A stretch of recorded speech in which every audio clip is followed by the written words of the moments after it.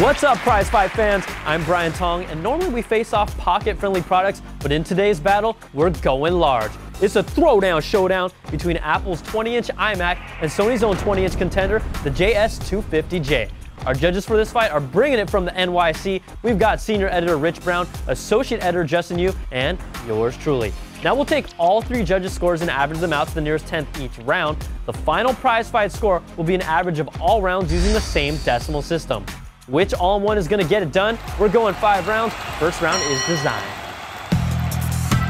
The Sony Vaio might have a plastic body and stand, but the machine looks classy overall. It comes in multiple colors for your color coordinators, and I like the design. But then you look at the iMac, and you just can't stop staring. Its all-metal body is striking. It manages to dwarf the Vaio at the same time, and after all this time, its competitors still haven't come close. Apple's iMac hits hard with the 5, and the Vaio gets a 3.3. Next round is featured. Sony's bringing Blu-ray to this fight, and it's the only all-in-one on the market to do so. Plus, you're getting twice the amount of RAM and a 500 gig hard drive standard.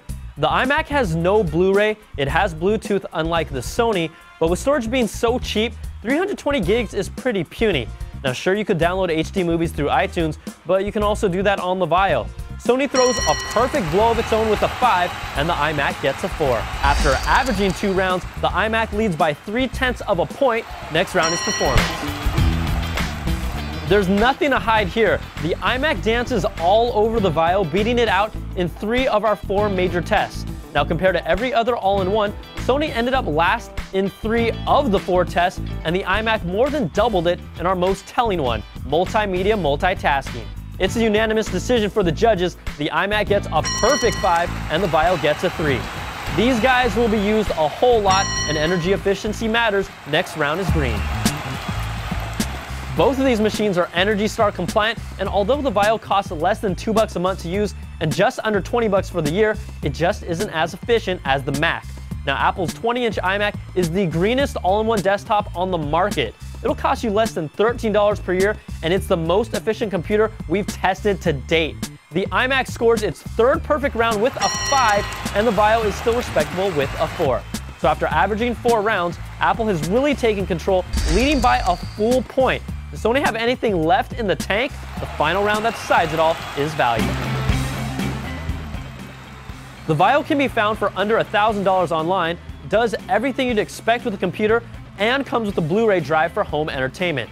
Apple's iMac pricing stays pretty firm at $1,200 wherever you look, and all-in-one newcomers bring even larger screens with comparable prices these days.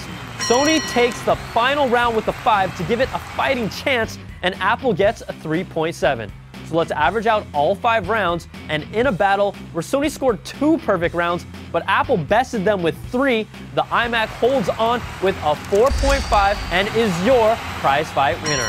I'm Brian Tong. Thanks for watching, and we'll catch you guys next time on another prize fight.